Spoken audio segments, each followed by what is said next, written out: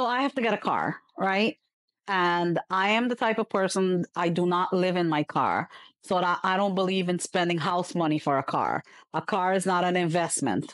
A car is a uh, something that gets you from day to day, one to one, whatever it is, and it it's that and it's a luxury thing. If you like a certain car or whatever, whatever. So right now, my dream car is what I have, and it's a Lexus RX 350.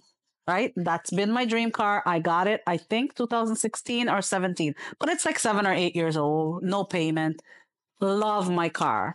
But my son needs a car. So uh, we either get a new car for him or get a new car for me, and he takes my car.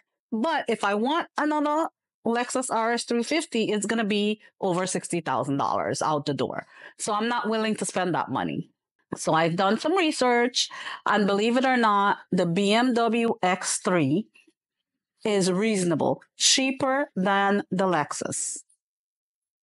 Most people would be like, wow, she drives a BMW. And I think that status wise, the BMW looks like you're wealthier more than the Lexus looks like you're wealthier, wealthier. But that's not why I'm getting a BMW. I'm getting a BMW because it's going to be cheaper than the car that I actually want. So that's why I'm getting the BMW. So if I had a poverty mindset, I would be like, oh my gosh, I'm not even going to look at the price of a BMW because the status of the BMW is like it's a BMW.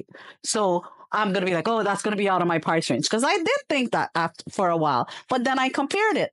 My friend got a BMW. I I asked her how much she paid for it. I looked at the prices. I was like, wow, that's cheaper than the stuff that I'm looking at. How is this cheaper than this? I looked at her car. I love the car. It was a decent car, and it's fifteen thousand dollars cheaper than the car that I actually want. So guess what?